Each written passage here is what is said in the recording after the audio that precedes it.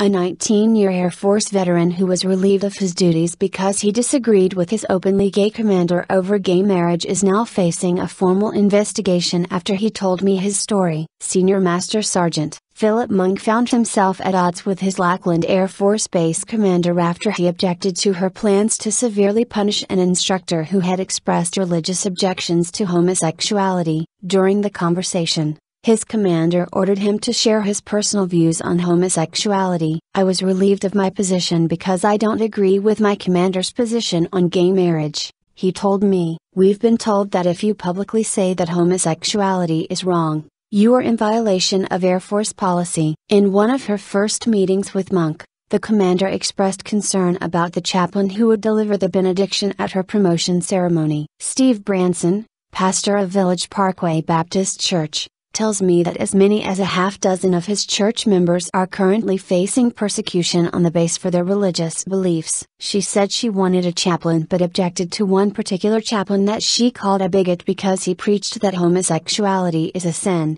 Monk said, after he was relieved of his duties, the Liberty Institute filed a religious discrimination complaint on his behalf. Last week, Monk was supposed to meet with an Air Force investigator tasked with gathering facts about the complaint. But when he arrived, Monk was immediately read his Miranda rights and accused of providing false statements in a conversation Monk had with me. I immediately got the sense that this was retaliation against me for coming forward with my religious discrimination complaint, he said. The accusations against Monk are a court martial offense in the Air Force and it's quite possible that the 19 year veteran with a spotless record could be booted out of the military because of his Christian beliefs. And he's not the only Christian at Lackland Air Force Base facing persecution for opposing gay marriage. According to Monk's pastor, Steve Branson is the pastor of Village Parkway Baptist Church, about five miles from the Air Force Base, he tells me that as many as a half dozen of his church members are currently facing persecution on the base for their religious beliefs. Sergeant Monk is just the tip of the iceberg.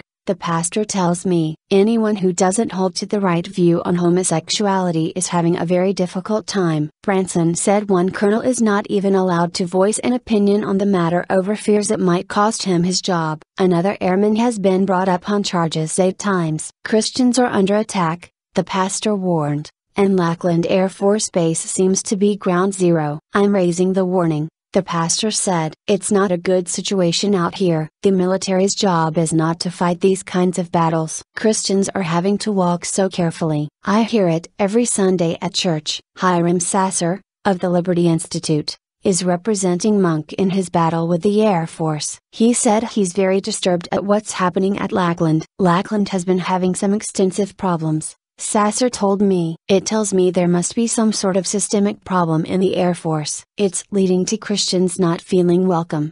Sasser said he was repulsed by the way the military has treated Monk. I can't imagine someone having their Miranda rights read to them like they did to Sergeant Monk simply because he is complaining about being mistreated and being discriminated against. He said, This kind of retaliation needs to come to a stop. Sasser said someone with such a clean military record deserves better treatment. We want to make sure we right all the wrongs and keep anyone from retaliating against Sergeant Monk, he said. Pastor Branson told me Monk is an outstanding member of the congregation, one of the finest men I've ever met in my life, he said. He lost his job because of what he thought. He's paying the price. Monk tells me Christians are trading places with homosexuals. Christians have to go into the closet, he said. We are being robbed of our dignity and respect. We can't be who we are. I asked Sergeant Monk why he just couldn't keep quiet knowing that the Obama administration has staffed the Pentagon with anti-Christian civilians. Why risk getting booted out of the military? Sergeant Monk told me he decided to take a stand for his three teenage sons. Every night after dinner we read the Bible together.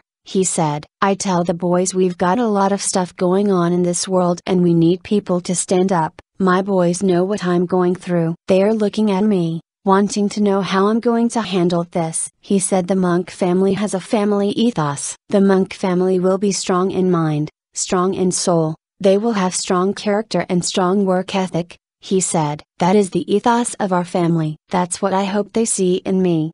He hopes his boys will see a man who stands upright and stands for integrity. Sadly, Those values are no longer seen as virtuous in a military that's been turned into a social engineering petri dish.